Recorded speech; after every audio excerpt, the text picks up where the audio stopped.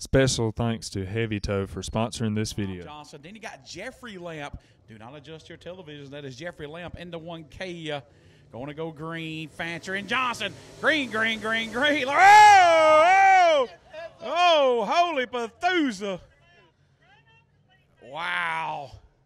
I told you this was going to be exciting.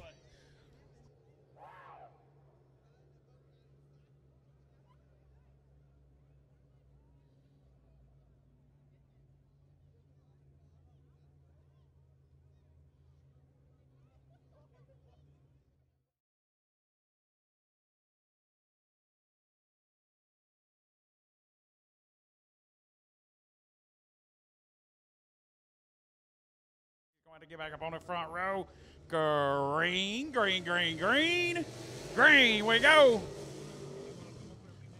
Down in the one we go. Here comes Jeffrey Lamp. He's going to pick him up and put him down, down the back straight away. Good to see the old man back up behind the wheel of the 1K car. Used to race limited here back in the day, so good to see Jeffrey filling in for Ken Lamp in the 1K. Big things for this man in 2024. Heartbreak hotel for you just now tuning in on the FM now and the old TV as Clay Fancher got hung up with Mr. Bob Johnson on the front straightaway as I burped at the same time. Jeffrey Lamp filling in for Ken, looking pretty sporty down into one. Uh, yeah. Stock 4B's your feature will be next.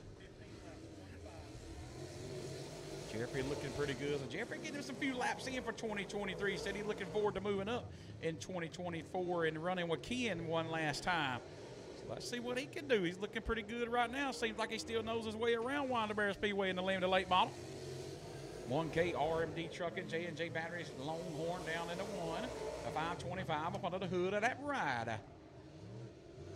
Big B's barbecue. Yep. That is very true, Chad Cohen, my esteemed colleague up here in the tower.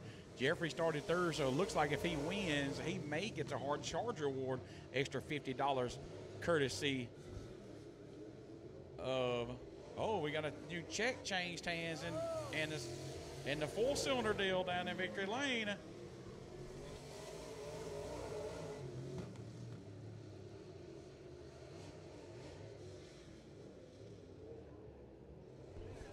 So the 1K still going back at it right now.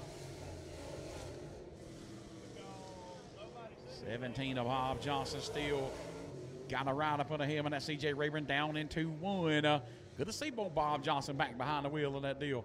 Having a little medical uh, deal last few weeks or a month to, right there. Good to see him back behind the wheel of the 17 car, Mr. Bob Johnson. An old Rayburn car, by the way. Longhorn at Rayburn should should be coming down to the last laps of this deal right here. Let's see what happens. Jeffrey Lamp rocking and rolling on the cruise control down into one and a 1K.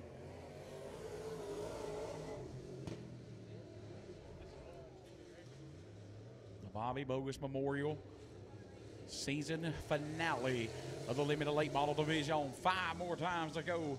Five more times to go for the limited late model division. Good to see that old fuel cell all set to the left side. That old CJ Rayburn going to work down into one. And Mr. Bob Johnson. Four more trippers to go. Stock 4Bs. Your feature will be next. Stock 4Bs. Four laps to go.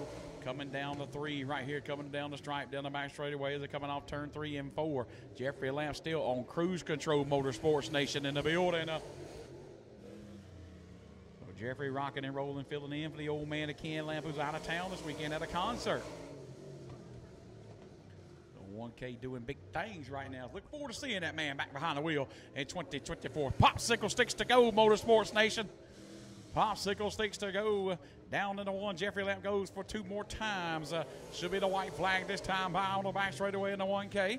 J&J batteries filling in uh, for Ken Lamp. Looking good. Taking the white flag.